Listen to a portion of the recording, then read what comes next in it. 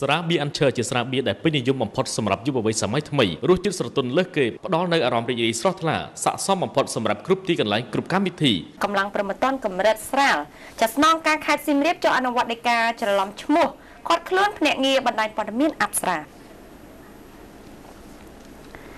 នៅវេលាម៉ោង8ព្រឹកថ្ងៃទី12ខែកុម្ភៈឆ្នាំ2016នេះកម្លាំងប្រមត្តនកម្រិតស្រាលស្នងការខេត្តសៀមរាបបានចុះអនុវត្តសារដីកាច្រឡំឈ្មោះ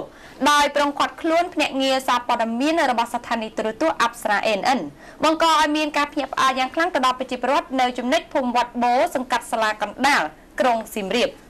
ចាំបើតាមការអះអាងរបស់លោកតាំងហូជាភ្នាក់ងារព័ត៌មានរបស់បណ្ដាញព័ត៌មានអប្សរា NN បានរៀបរាប់ថា នៅវេលាម៉ោង8ព្រឹកថ្ងៃទី12ខែកុម្ភៈនេះមានកម្លាំងប្រមត្តនកម្រិតស្រាលនៃស្នងការខេត្តសៀមរាបបានមកគោះទ្វារបន្ទប់គាត់ហើយក៏បានប្រើការគំរាមមិនឲ្យគាត់និយាយអ្វីទាំងអស់ព្រមទាំងពុំមានការបកស្រាយពីហេតុផលអ្វីនោះឡើយហើយចុងក្រោយការអនុវត្តសាលដីកានេះបែរជាច្រឡំឈ្មោះអ្នកសារព័ត៌មានទៅវិញ។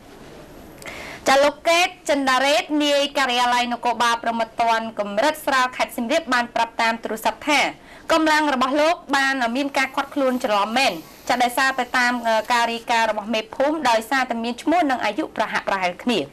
ចាតកតងទៅនឹងករណីនេះលោកថងសុគន្ធស្នងការរងនិងជានាយការិយាល័យកណ្ដាលចតិធធ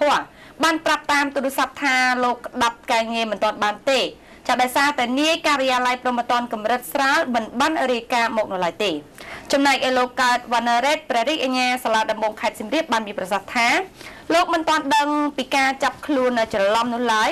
ចាដោយសារតែនគរបាលមិនទាន់រាយការណ៍ជូនលោកនៅឡើយទេចាលោកបន្តថានៅក្នុងសកម្មភាពរបស់សមត្ថកិច្ចបែបនេះគឺជាគឺដូចជារំលោភសិទ្ធិនិងប៉ះពាល់យ៉ាងខ្លាំងទៅដល់កិត្តិយសរបស់អ្នកសារព័ត៌មានខណៈមានប្រជាពលរដ្ឋជាច្រើននាំគ្នាចោមរមើល ចាលោកថាពាក់ព័ន្ធទៅនឹងការអនុវត្តសាលដីកាខុសរបស់សមាជិកមួយនេះលោកនឹងដាក់ពាក្យបណ្ដឹងទៅកាន់តុលាការដើម្បីឲ្យស្នងការដោះស្រាយចំពោះបញ្ហានេះ